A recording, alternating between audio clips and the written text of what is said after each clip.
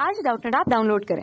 Doubtnut पर अपने सभी गणित, रसायन विज्ञान, भौतिक विज्ञान और जीव विज्ञान के डाउट्स का करो सफाया। बस प्रश्न की फ़ोटो खींचो, एक ही प्रश्न को क्रॉप करो और तुरंत वीडियो सोल्यूशन पाओ। अभी डाउनलोड करें। प्रश्न दिया हुआ है कि इनमें से प्रत्येक स्तर के लिए कक्षीय अवधि परिकलित कीजिए और में एन का मान दिया हुआ है एन बराबर एक, दो, तीन। ये क्या है? ये हमें स्तर दिए गए हैं। ठीक है, हम कह सकते हैं कक्षा दी हुई है। ठीक है तो हमें ज्ञात करना है इलेक्ट्रॉन के लिए आवर्तकाल हम कह सकते हैं कि किसी भी कक्षा के लिए जो हमारी कक्षाएँ दी हुई हैं, एक, दो, तीन तो इन कक्षाओं के लिए मैं आवर्तकाल हम कह सकते हैं, हम कह सकते हैं कि कक्षीय अवधि में ज्ञात करनी है, ठीक है? तो देखिए तो मान लेते हैं कि हमारा इलेक्ट्रॉन नाभिक के चारों ओर एक स्थायी कक्षा में आर बना करके नाभिक के चारों ओर चक्कर लगा रहा होगा, ठीक है? वी वेग से इलेक्ट्रॉन, ये इलेक्ट्रॉन वी वेग से चक्कर लगा रहा है। ठीक है? मान लेते हैं कि एनवी कक्षा है ठीक है? तो आवर्तकाल क्या हो जाएगा? तो इस इलेक्ट्रॉन के द्वारा हम कह सकते हैं कि जो आवर्तकाल होगा इस इलेक्ट्रॉन के लिए, या जो कक्षीय अवधि होगी इस इलेक्ट्रॉन के लिए तो उसका मान होगा टी बराबर टू पाई आर एन बटे वी एन तो टू पाई आर एन क्या है? टू पाई आर एन हम कह सकते हैं परिधि, ठीक है? और आर एन मतलब क्या है? जिस कक्षा में वो होगा, उस कक्षा की त्रिज्या। और वी एन क्या है? वी एन का मान है आप एनवी कक्षा में इलेक्ट्रॉन की चाल, ठीक है? अब देखिए। तो अगर हमें आर एन और वी एन के मान ज्ञात हो जाए तो हम ज्ञात कर सकते हैं कक्षीय अवधि, ठीक है? तो जैसे कि हम जानते हैं कि अनुमत स्थायी कक्षाओं की त्रिज्या के लिए अगर हम व्यंजक ज्ञात करें तो अनुमत स्थायी कक्षाओं की त्रिज्या के लिए व्यंजक होता है आर बराबर N square H square epsilon naught upon pi M Z E square, जहाँ पर H epsilon naught pi M E क्या है नियतांक है, और परमाणु विशेष के लिए जेड का जेड का मान भी क्या होगा, नियतांक होगा। तो हम कह सकते हैं कि अनुमत स्थायी कक्षाओं की त्रिज्या उनकी कक्ष संख्या, या हम कह सकते हैं कि मुख्य क्वांटम संख्या के वर्ग के अनुक्रमानुपाती होती है। ठीक है, और देखिए, यहाँ पर हम लिख सकते हैं इसको आर बराबर ए नॉट एन स्क्वायर। तो हमने अनुक्रमानुपाती चिन्ह हटाएँगे तो यहाँ पे क्या आ जाएगा? ए नॉट ए नॉट यहाँ पर क्या है? ए नॉट है बोहर त्रिज्या। बोहर त्रिज्या। या हम कह सकते हैं कि हाइड्रोजन परमाणु की जो प्रथम कक्षा होती है, उसे हम कहते हैं बोहर त्रिज्या।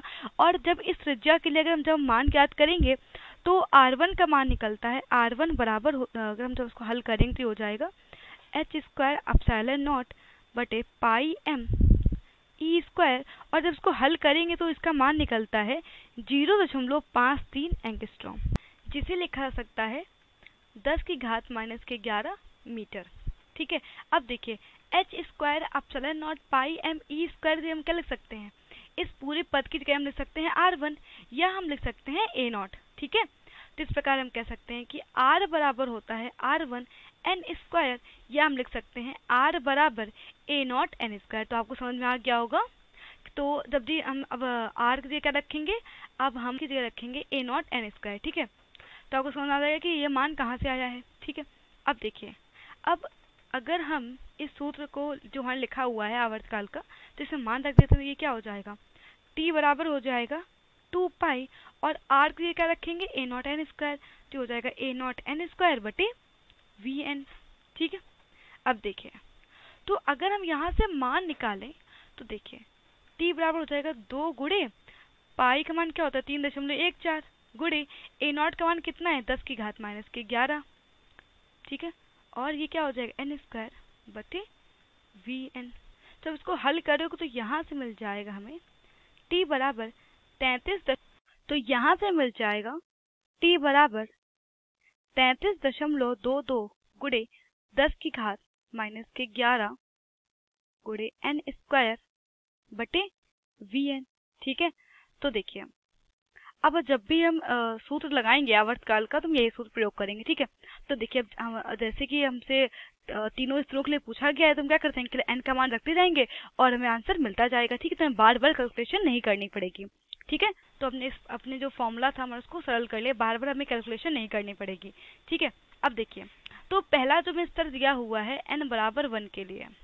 ठीक अब एक काम और करते हैं, पहले हम लोग वी एन भी देख लेते हैं, चाल देख लेते हैं इलेक्ट्रॉन की। तो देखिए इलेक्ट्रॉन की चाल होती है तो इलेक्ट्रॉन की चाल वी एन बराबर होता है सी बटे एन एल्फा जहाँ पर अल्फ़ा क्या है? सूक्ष्म संरचना नियतांक। इसको जो अल्फ़ा क्या है? सूक्ष्म संरचना नियतांक। ठीक है? तो अल्फ़ा का मान होता है अल्फ़ा बराबर होता है ई स्क्वायर बटे two epsilon naught C H जहाँ जहाँ पर ई है इलेक्ट्रॉन प्रावेश अपसाइलन नॉट क्या है? नियतांक है। सी है निर्वाचन प्रकाश की चाल और एच है प्लांक नियतांक। ठीक है? जब इसको हल करेंगे तो अल्फ़ा का मान निकल के आता है अल्फ़ा बराबर एक बटे एक सौ सैंतीस। ठीक है? तो अल्फ़ा बराबर निकल के आता है एक बटे तीन सौ एक बटे एक सौ सैंतीस। तो हम लिख सकते हैं वी एन बराबर सी बटे एन गुड़े एक बटे एक सौ सैंतीस। ठीक है? तो अब देखिए, अगर हम यहाँ पर निकालना चाहें मान तो V1 के लिए क्या हो जाएगा? मतलब कि पहली कक्षा के लिए V1 का मान कितना हो जाएगा? तो पहली कक्षा के लिए इलेक्ट्रॉन की जो चाल होगी, वो हो जाएगी C बटे एक सी बटे एक गुड़े एक बटे एक सौ सैंतीस। तो सी का मान कितना होता है? तीन गुड़े दस की घात आठ मीटर प्रति सेकेंड, आठ मीटर प्रति सेकेंड गुड़े एक बटे एक सौ सैंतीस। जब उसको हल करेंगे तो यहाँ से तुम्हें वी का मान ज्ञात होगा। तो यह मान होगा दो दशमलव दो गुड़े दस की घात छ मीटर प्रति सेकेंड। ठीक है? तो ये मान हो गया प्रथम कक्षा में इलेक्ट्रॉन की चाल का। ठीक है? तो इसी प्रकार अगर हम निकालना चाहें V2 तो इसी प्रकार जब हम हल करेंगे तो V2 का मान यहाँ से निकल के आएगा। एक दशमलव ज़ीरो नौ गुड़े दस की घात छः मीटर प्रति सेकेंड। तो प्रश्न तीसरे स्तर तक पूछा गया तो हम तीसरे स्तर में इलेक्ट्रॉन की चाल निकाल लेंगे। तो V3 का मान जब उसको हल करेंगे तो यहाँ से निकलेगा सात दशमलव तीन गुड़े दस की घात पाँच मीटर प्रति सेकंड देखिए हमने V1, V2, V3 के मान ज्ञात कर लिए हैं और आपको पता चल गया है कि जो ये V1 के मान V1, V2, V3 के मान है ये कहाँ से निकल के आ रहे हैं ठीक है?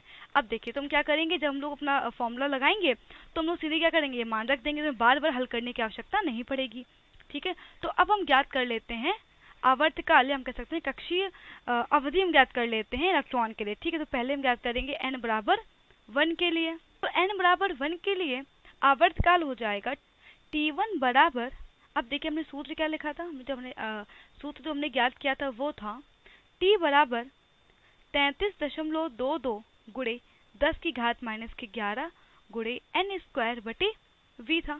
ठीक है? देखिए, जैसे कि हमने ऊपर भी इसको ज्ञात कर लिया था। ठीक है टी क्या तैतीस दशमलव दो दो गुड़े दस घात माइनस ग्यारह गुड़े एन स्क्वायर बटे वी एन ठीक है? तो अब देखिए तो टी वन बराबर क्या हो जाएगा? तैतीस दशमलव दो दो गुड़े दस की घात माइनस के ग्यारह गुड़े एन की जगह क्या आ जाएगा? एक का स्क्वायर और ये क्या आ जाएगा? ये हो जाएगा बटे वी वन तो वी वन का अभी हमने ज्ञात किया तो ये हो जाएगा तैतीस दशमलव दो दो गुड़े दस की घात माइनस के ग्यारह गुड़े एक बटे वी वन का मान कितना हो जाएगा? दो दशमलव दो गुड़े, दस की घात छ ठीक है?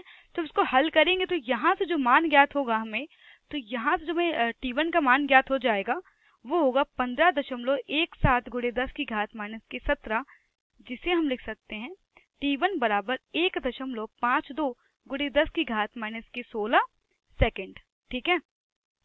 तो ये हो गया प्रथम कक्षा में या प्रथम स्तर के लिए आवर्तकाल।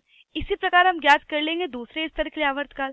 तो टी टू बराबर क्या हो जाएगा? टी टू बराबर हो जाएगा तैतीस दशमलव दो दो गुड़े दस की घात माइनस की ग्यारह गुड़े ये क्या हो जाएगा? एन टू स्क्वायर ये क्या है? एन बराबर दो के लिए है। ठीक है? बटे ये क्या हो जाएगा? वी टू वी टू ठीक है? अब देखिए तो ये हो जाएगा तैतीस दशमलव दो दो गुड़े दस की घात माइनस की ग्यारह गुड़े एन एन का मान कितना है? दो है। तो हो जाएगा दो का स्क्वायर बटे वी टू मान देखिए, अभी हमने ज्ञात किया था, एक दशमलव ज़ीरो नौ गुड़े दस की घात छः। जब इसे हल करेंगे तो यहाँ से जो हमें मान मिलेगा तो वो मिल जाएगा टी टू बराबर एक सौ इक्कीस दशमलव नौ गुड़े दस की घात माइनस के सत्रह, जिसे हम और हल करेंगे तो जो में जो मान ज्ञात होगा टी टू का, या दूसरी कक्षा के लिए आवर्तकाल जो ज्ञात होगा वो होगा एक दशमलव दो दो गुड़े दस की घात माइनस के पंद्रह सेकेंड। ठीक है? तो ये मान हमें यहाँ से ज्ञात हो जाएगा। ठीक है? तो ये हो गया दूसरी कक्षा के लिए आवर्तकाल। ठीक है? हम कह सकते हैं दूसरे स्तर के लिए आवर्तकाल। ठीक है? अब हम ज्ञात कर लेंगे एन बराबर तीन के लिए। तो एन बराबर तीन के लिए।